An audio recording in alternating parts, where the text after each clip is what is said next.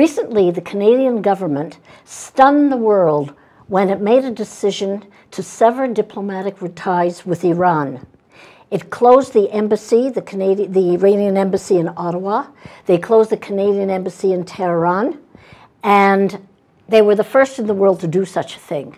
That was before the protests against the film started. In the weeks to come, we'll be looking at the response to this decision from Canadians, from Israelis, from Iranian Canadians. But today, coming up in today's program, is a look at practical parenting, the skills that you can actually teach parents to raise stronger, well adjusted children, especially important in these fast changing times, with Stan Shapiro. And later, Aaron Lightstone from the award winning musical group Jaffa Road. Stan Shapiro, welcome. Thank you. Nice to be here. Practical parenting. Let me read what you wrote in the book. Why practical? Which it is, I don't know any program in the world that is more practical. I've come to realize, you write, that the relationship parents have with their children are more important than any other. Virtually every developmental problem, from bedwetting to attention deficit disorder, can be helped if only parents were taught the skills they need to be effective. The key word here is skills. We hear philosophy, we hear different ways of being a parent, strict, laissez faire, criticisms, but nobody teaches us how to speak, what to do, how to discipline, specifically step by step. The other thing that you say is parenting, the most important job in the world, doesn't require a diploma. That's right. Doesn't require a license. You have to have a driver's license. You have to have a diploma to be anything, but you have nothing to be a parent. So let's Well, get back to what, what is, is that you actually do. What's the program?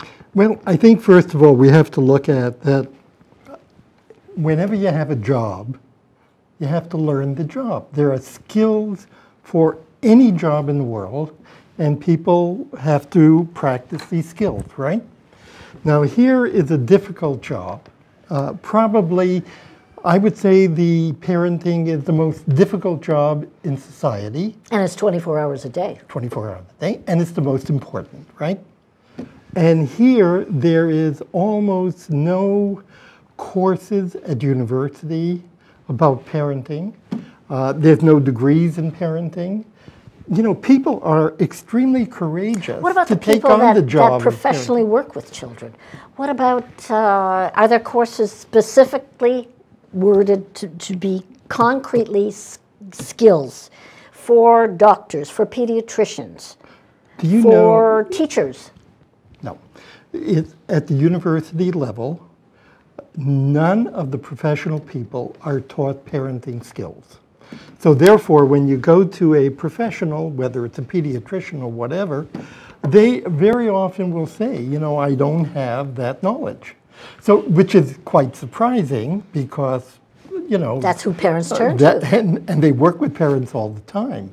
So uh, at the university level, it is not taught. Teachers or any profession, it is not taught. Now, it seems to me the reason that it's not taught is that parenting is underrated. It's not given the kind of status that it should have. Because in my mind, it is the most important job. Um, uh, Bill Clinton really impressed me. He said that even though I'm the president, he said, my job is second to being a parent. That was really quite impressive. And that's with He's only one right. child. Yes, that's right, and only one child. But the point But is he values it, that, that's the point. I mean, when you think of, you talk to anybody, they will tell you that my family comes first, my children come first, this job that I have is second. And yet, when you ask him, what do you know about parenting? You know, they, how do they know it? From the way they were taught when you're a child and your parents are parenting you, you either copy it or you go exactly the opposite because you hated the way you were parented. Other than that, where are the skills? So, what kind of skills are needed? There's basically, I think, I could categorize six major skills that parents have to have, but not only in parenting, but in their relationships with other people. One of the skills you have to have is to be able to listen. When you're relating to somebody, the person wants to feel respected and understood. And you have to know how to listen. It's a listening skill. You also have to know how to talk to someone so that you're respectful to them and that you're uh, getting your ideas across. So, how to talk, how to listen, that's a communication skill. And you break it down. You give examples, you practice, you role play.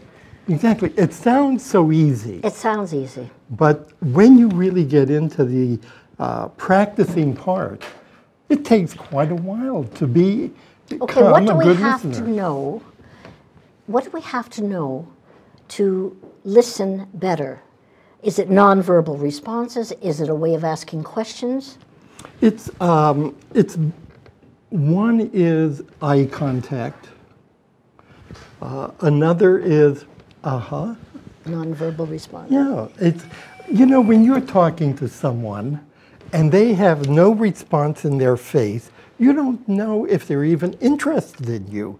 But when somebody just like what you did just now, you went like I'm that. actively involved with Yeah, you. you're I'm actively involved, even though you're not talking. Okay, there's a lot more. So, in our next segment, we're going to talk about the skills, specific skills, and the linchpin of your philosophy, which is the family meeting.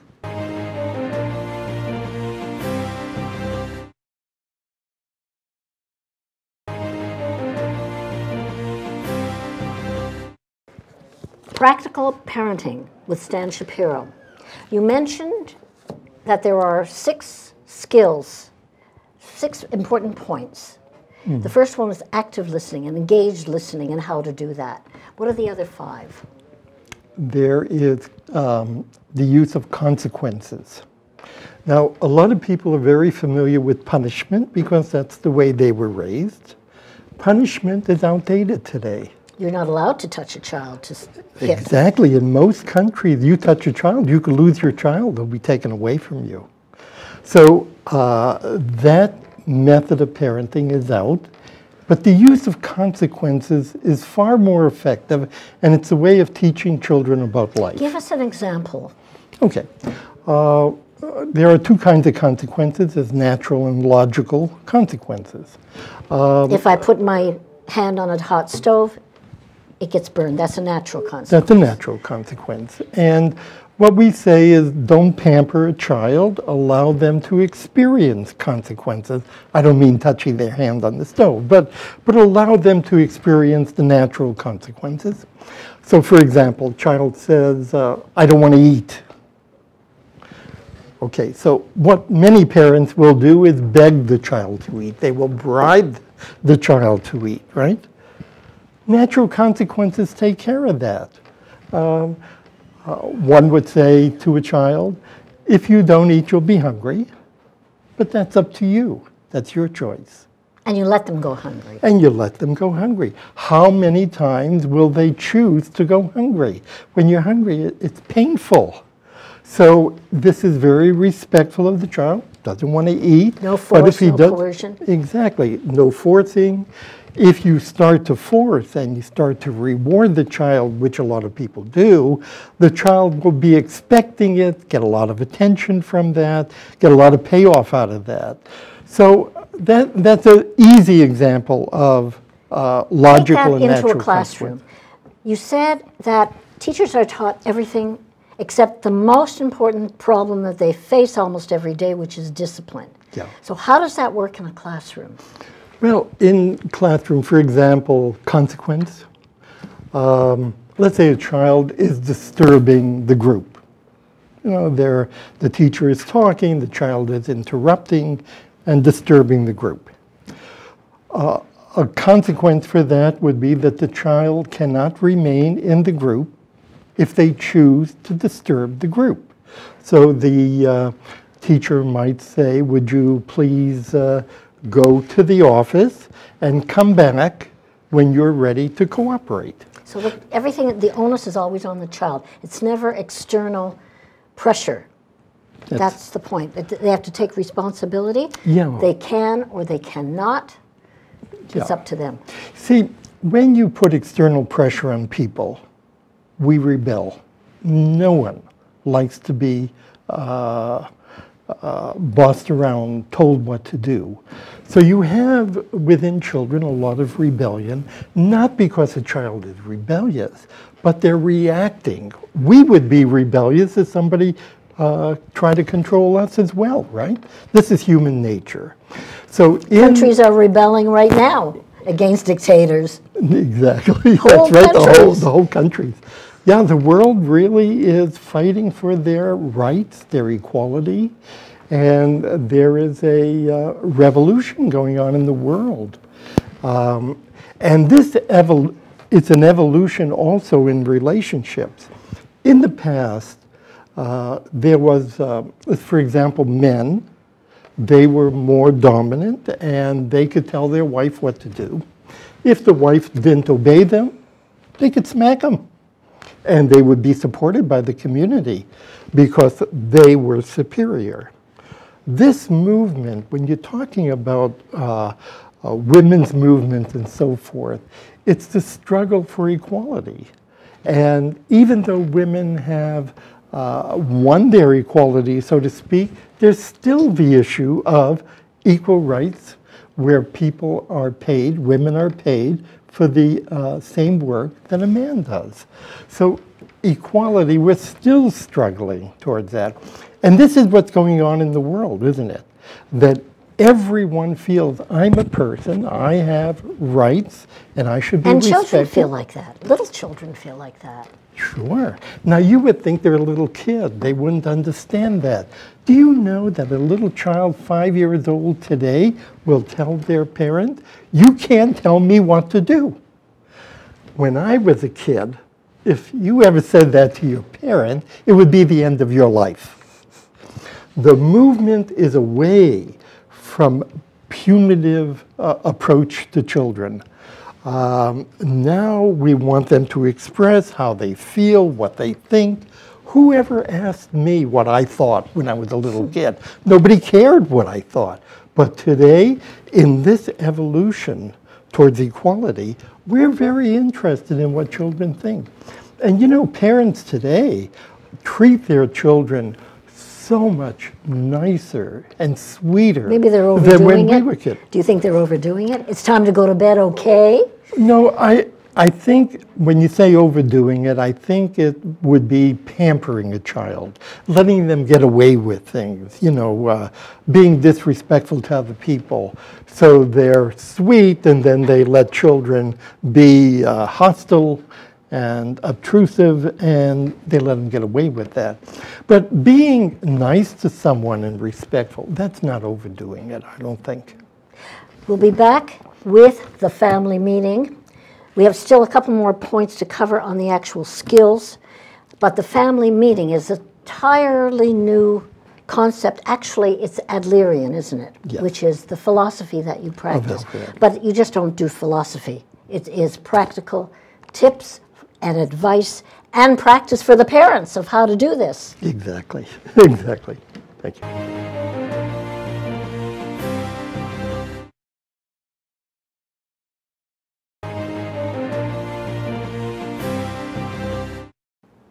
Stanley Shapiro, Practical Parenting. The linchpin, the basis of your philosophy, of your approach is the family meeting. Tell us how that works.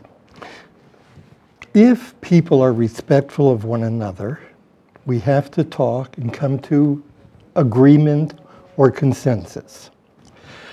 Um, with children, we frequently do not involve them in decision making and consensus.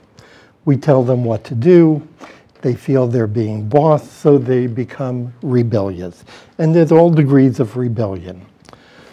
What will change the family dramatically is if we could establish then a democratic process, which we call the family meeting, And we involve the children in uh, routines, we involve them in problem solving, we invite them to participate so that they have input and uh, consensus to whatever is decided. How young, how young can you be for a family meeting? A three-year-old? Yeah, uh, two and a half is probably a good time to start.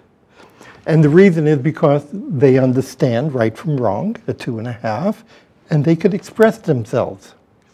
So we would involve them right away. Now, when we have a family meeting, of course, when you have very young children, we wouldn't talk about things that are beyond their comprehension. What would you talk about, for Well, example? with a two and a half year Three, old. five, six to 10. Yeah, for example, like a two and a half year old, we would talk about um, going to bed at night, let's say, the routines. So we would talk about um, when we go to bed, what will be the routine. So we have a bath, and then after the bath is a book, and then a kiss, and then the lights are out, and so forth, right? So what, um, when we're talking about that, instead of, for example, telling a child what it is, I like to ask questions. Uh, when we go to bed, uh, what would be the first thing that you'd have to do? And then child might say, well, we got to brush my teeth and take a bath. Okay, and then after the bath, how are you going to wipe yourself? Okay, and can I- Step by step. yeah. So um, we're asking questions. Child is responding. I want to watch television. Oh, that's wonderful. We can watch television after supper. I want to watch it after my bath. Okay. Uh, you want to have an earlier bath then, and then television afterwards. And then we'll go to sleep. Is that what you're suggesting? See, so here you're, you're using um, active listening, you know, the listening skill. And then let's say I don't like the idea. So I might say to the child, you know, I think I would have a problem with that because after the bath, when you're tired, watching television might not be so good because you might get um, excited and so forth, and it's harder to You fall give them reasons. You give them reasons, actually. Yeah, yeah. But I might ask, what do you, you know, let's say when I make a suggestion at a family meeting, I like to ask a child, what do you think about that? See, when you're talking to someone, um, you give an opinion, it's very respectful to ask, what's your thoughts about that? Okay, let's go to fighting in a family. Okay.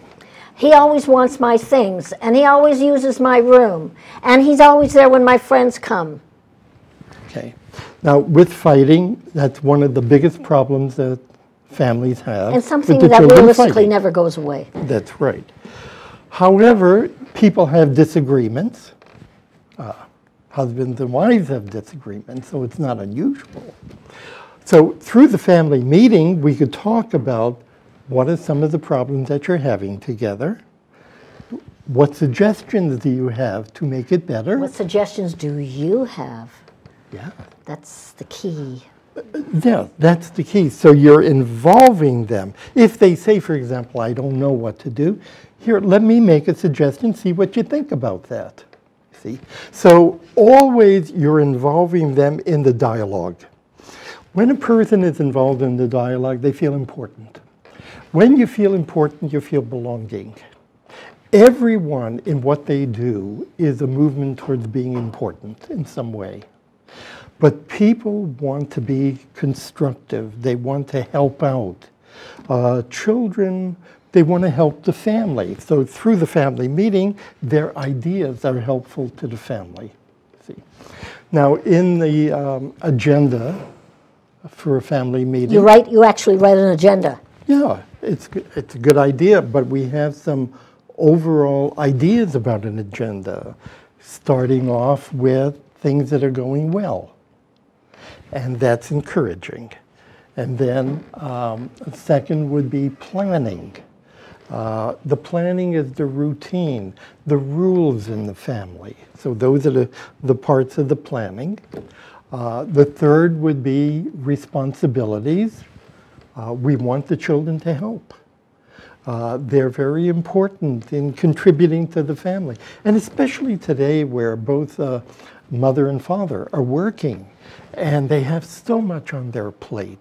And a child really could be helpful. And when you're helpful, you feel important. You feel like you contributed. Uh, children who are pampered a lot and not asked to help, they, they don't feel important then because they're not contributing anything. I mean, when we think about our life and our work, the reason you feel good about your work is because you're contributing something to society, to the group that you're with. So um, that's the third item would be jobs. Stan, you have so much to tell us and I hate to interrupt. Where can people find out more about practical parenting? Well, they could uh, email us at uh, under Practical Parenting. That's right, and our website is Practical Parenting. Uh, we also um, uh, call ourselves. We have another book called Parent Talk, and they could look up the website on Parent Talk, and you know, and and, and if you're interested in courses get in touch with Stan Shapiro through the website. Yes. Yes? Yes. And we'll have you back. Thank you. Thank you, Stan. Yeah, fun.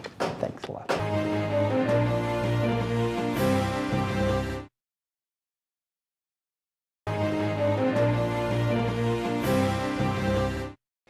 Aaron Lightstone, leader of the band, of the award winning band, Jaffa Road, and performer and expert on the oud. Let's hear a little.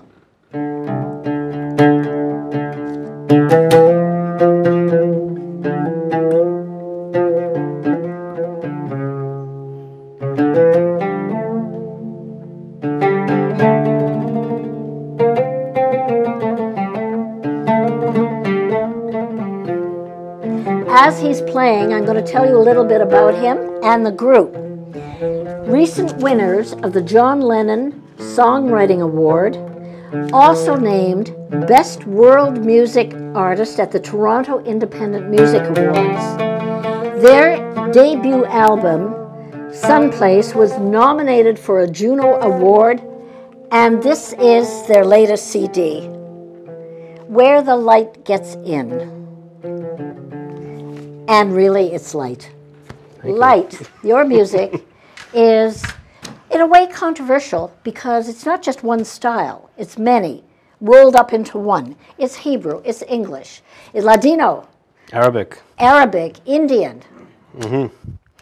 Well, I mean, to to us playing this music, it's uh, in many ways it's sort of the natural consequence of being a musician in in this time and place and being interested in so many different kinds of music living in a place like um, Toronto, where there's so many opportunities to hear and interact with musicians of so many different uh, backgrounds and cultures, visiting a place like uh, Tel Aviv, where there's, a, I think, a real uh, parallel kind of scene, you know, where people have come from all over the world. Jews have come from all over the world, and then you have the indigenous Arab population as well, and the Druze, and everybody's all, everybody's all mixed up and we can't, as musicians, I mean, we can't help but uh, try this, try that, you know, and, and as a, and personally, I know I've, I have been involved in a number of different musical styles. I started out with, with blues and over over time I got very interested in, in the oud and, and sitar. And guitar. And guitar along the way, of course.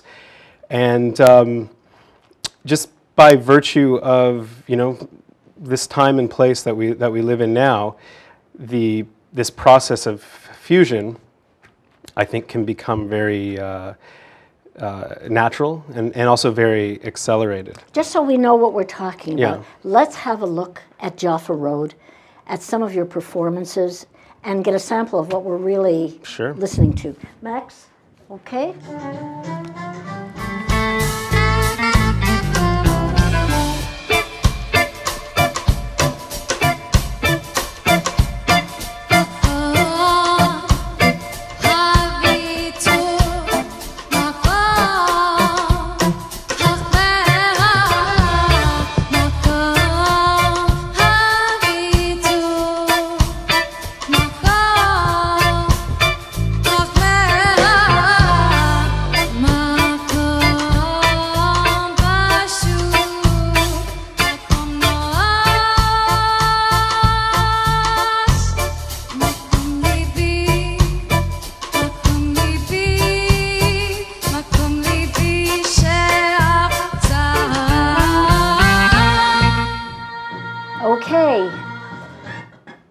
We'll come back and hear Sure. more.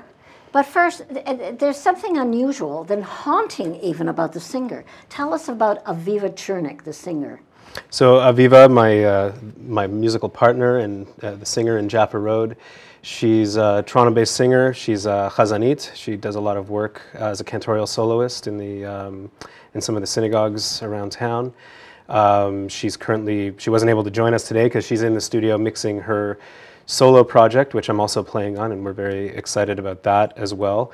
Uh, it's tentatively called the Prayer Project, and um, she's a wonderful singer and uh, composer and uh, performer, and we're very lucky to have her as a, as a lead singer in uh, in Jaffa So, Road. who exactly have you got in the band, and what are they playing? So I'm playing oud and guitar live and on recordings uh, and, and synthesizer. Oud, guitar, and synthesizer, and on recordings I sometimes add a little bit of saz, the Turkish long neck lute. We've got Jeff Wilson on percussion and drums. We've got Aviva. We've got Sundar Viswanathan on saxophone and bansuri the, and backup vocals. And we have Chris Gartner on bass, and he's also the, uh, the producer of the new record. So, five people, Five of us. five, five of you. Yeah, and then we have some guest artists on the CD, such uh, like Yair Dalal, the, the master violinist and oud player from Israel. Yair Dalal. Yeah, he's uh, he contributed uh, some violin playing to the to the album, and uh, we cover one of his songs. Um, and he's been a teacher and a friend uh, to us as well. Uh, Amir Amiri is a Persian uh, santur player from from Tehran who lives in Winnipeg, and Aaron Bensoussan, the, the local chazan, he sings a verse of a song in Arabic. Actually, the song that Yair wrote. Aaron Bensoussan is from Morocco. He's from Morocco. He's been living in Toronto for many years now. Yeah, and Michael Rennie, uh, a guy who's a wonderful singer, songwriter, and violinist, originally from South Africa. So we had the, the five, the core five, and then we had these four uh, guest artists as well. This is what? This is your second CD. our second, yeah. The second, Yeah. and the first one won.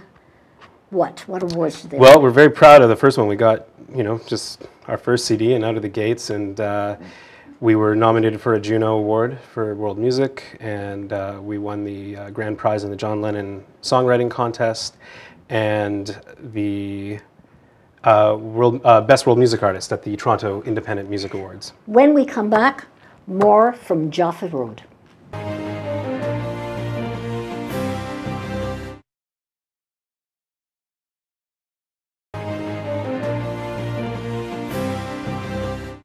Jaffa Road with Aaron Lightstone. Let's see more of you.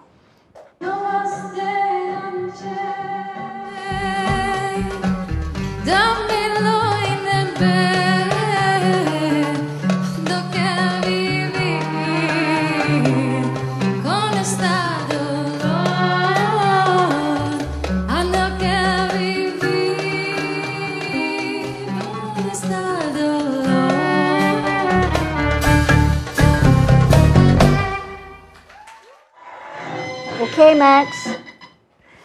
How do you create this music? How do you, what's the process of doing this? Well, um, we all have different musical interests and musical backgrounds, but also some uh, a lot of common ground in our musical interests and, and musical backgrounds. Uh, so, for example, uh, our saxophone player and our bass player have quite a bit of experience in both jazz and Indian music. I've studied some Indian music. I've studied a little bit of jazz. So there's that common ground there. And you've also lived in Israel? And I've spent a lot of time in Israel. I haven't haven't lived there, but uh, yeah, been back and forth and some extended visits. Um, same with Aviva. She spent many summers there uh, during her childhood, as her grandparents lived uh, lived there at the time. So we so we have this uh, interest in these some, sometimes seemingly divergent uh, types of music, and many of in many of the instances, I've started a composition, uh, get you know get it sort of rolling and uh, create some kind of a rough demo of it, and then everybody has their input and gets their hands on it, and it becomes a real collaborative process, so that the music is sort of filtered through these five uh, different It's brains with all these different interests. It's hard to believe that you can come to something concrete like a piece of music Yeah, it, with five people's hands and ideas in it. yeah, and sometimes it's more than less, you know, and sometimes it's more this this one and that one, and the others are a little bit more peripheral. And in the, a couple pieces on this album in particular, though, they were real, really the five of us really uh, contributing. You know, there was an example where. Um, Sundar came up with, uh, or it started with Jeff. He came up with a really interesting groove in a five-beat uh, rhythmic cycle, and uh, he, he so he recorded it, gave it to us. Sundar came up with a melody that lent itself to that rhythm. Aviva then came up with um, some lyrics uh, for that, and then worked with a collab- uh, another collaborator to translate them into French, so that that song is in French and in Hebrew. So and then and so on and so forth, and it just So sort your, of your music morphing and building. is an example of fusion of different countries, different styles. I have trouble with that. I think you lose the original element. It gets lost and forgotten.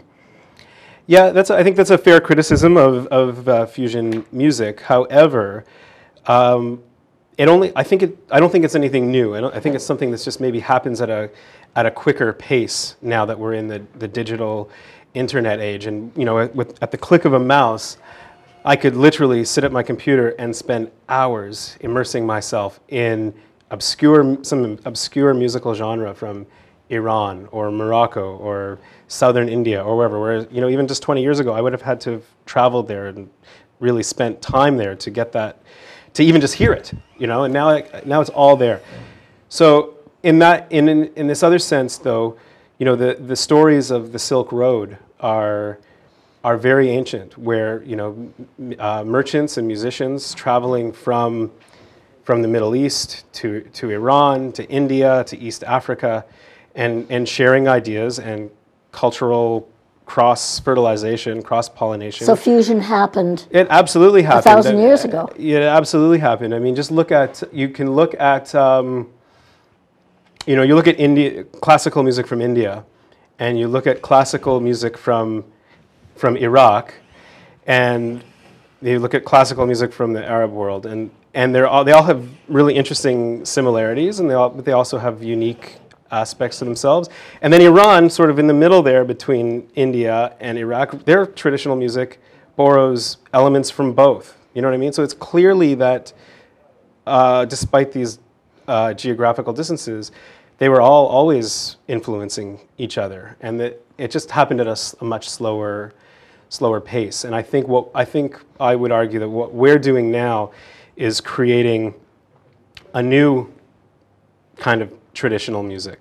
You know, like if we were to, if, if, a, if a musicologist 50 or 100 years ago uh, would look back at Toronto in, in uh, the early part of the 21st century, I, you know, I hope they, would might, they might look at the music that Jeff wrote and similar groups are making and say, well, that was the traditional or the folk music of 21st starting a century, tradition. 21st century North America. Yeah, we are, but we're not. I mean, because this kind of uh, thing has been going on for a long time. I think musicians are just inherently uh, interested in music from other cultures and other places when they when they encounter those. And as for the traditional, the, the you know the really traditional versions of of these music, you know they're not. Um, as beautiful as those traditional styles are it's always hard to tell how how old is that traditional style really you know because recording technology only goes back 100 years.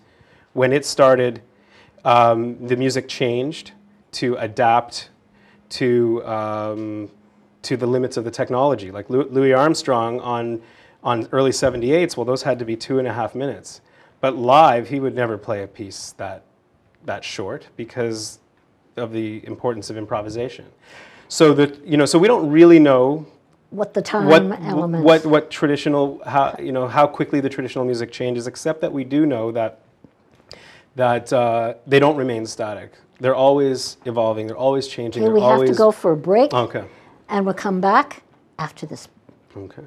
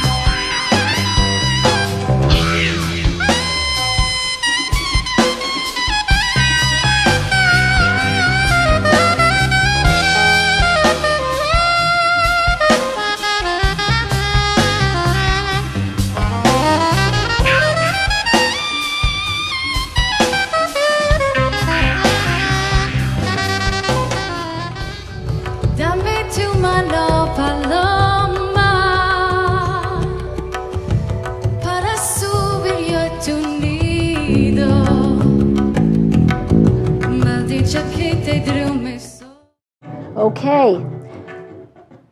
It's hard to break into this. I'm just mesmerized. Good, thank you. What language was she speaking in?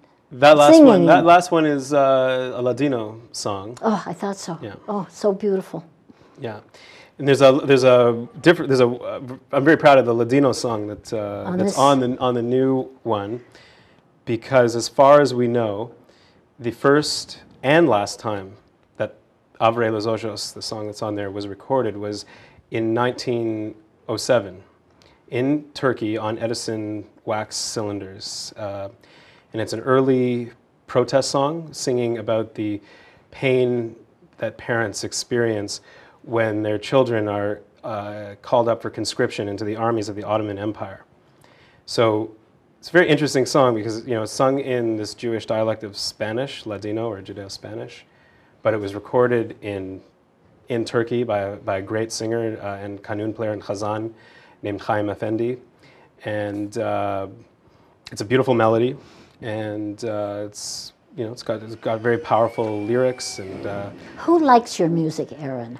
Who listens, and where does the music take you? Um, well, we have we have a pretty diverse uh, audience from as far as we can tell when we you know look out and when the lights aren't too bright and we can see who's in the audience when we're on stage. Um, it's a pretty wide age range, I would say, from you know 30s to 80s. There was an 80 year old woman who celebrated her birthday at our last CD release concert, I recall. So in age, it's very wide, and we've uh, we've had the privilege and opportunity to travel all across um Canada in the jazz and folk festivals and just general music festivals. Um, such that uh, our audience seems to be people that people that are interested in fusion music, people that are interested in, in jazz and music that Is has it a particular improvised. ethnic group? Um, no, I mean, well, there's obviously natural appeal with the with the Jewish community because we're singing in Hebrew and, and Ladino and now a little bit in Arabic and French and English, um, and there's definitely a lot of Jewish references and content in the music. But we think this music really appeals to anybody who is interested in uh, world music, You've folk music, to jazz. Newfoundland with this? Well, we've tra- we've been lucky to tour all across Canada at, at a number of the jazz festivals, but probably the most interesting place that we've been to is in summer of 2010. We, we were playing at two music festivals in Nunavut, in the eastern Canadian Arctic, in communities that are primarily in, Inuit uh, what, what's the response? Uh, as far as I can tell, they, they liked it. It- When we played in Iqaluit, they've they've got a wonderful music festival there called Alianait, and they've had world music bands before. And then they we went further to a place called Igloolik, which is a very remote community um, north of the Arctic Circle, and it was their first edition of that music festival. And we were one of two bands to play there from from what they call the South and the rest of the were artists from Nunavut. And as far as we could tell, people people were into it. They'd never really heard anything quite quite like what, what we're doing. Um, we got to play also in, in Haida Gwaii in the Queen Charlotte Islands, and this past summer we were traveling all over British Columbia, including uh, the Bella Coola Valley in the town of little small little place called Bella Coola. And uh, in these places, just people people come out who are interested in in all kinds of music. It's Uh, astonishing that it would have such wide appeal. I mean, Inuit and and plain Canadians from ten generations back. Yeah, well, it's it's uh, it's it's music, and and I think as lo- for people that don't mind hearing music that's not in their own language, and some people aren't into that. Some people definitely need to hear music that's in with lyrics of the language they understand for sure. But a lot a lot of people just hear foreign lyrics as another musical sound in the in the musical whole. You know. You're launching this CD October 28th. Is That's that right. correct? Yeah. October 28th at Hugh's Room. What time? 8.30 the concert will start at 8.30 uh, people are encouraged to make dinner reservations for, for before the concert to ensure uh, the best seats in the house. It's a small place but hugh's room is known in the music community in toronto for really although it's a restaurant for really taking music seriously so that the, the, the dinner and the service is done before. By the time the concert starts, you can hear a pin drop in that place. I've been It's a there, and I was astonished that so many people are rediscovering what I would call folk music. You're calling it world music, but music of the world's people. Mm-hmm. Is, is is that a resurgence of what's going on in the music world? That kind of bringing together. Well, I think yes. Maybe that's hope for the world that this is yes, and I think I think when we say that when we use the term folk music, I think in general what what is meant by that term is becoming much broader. Uh, you know, there was a time, maybe when the first folk fest- folk music festivals in Canada were started, that folk music meant, you know, what you heard. Uh, you know, the kind of things like Woody Guthrie and, and Bob Dylan playing at the beginning of his career, you know, singer-songwriter with a guitar. Uh, and there's still some great music like that happening at the folk music festivals. But I think what that means, that what that the way that term is used has become much broader. Yeah, music of the world's people. And, where uh, better than in Canada, where we have more people from all over the world than any place in the world. And I think it's hopeful. If you can do that in music, maybe we can do that in life. we hope so. Thank you, Aaron. Thank you. Till next time, remember, be a mensch.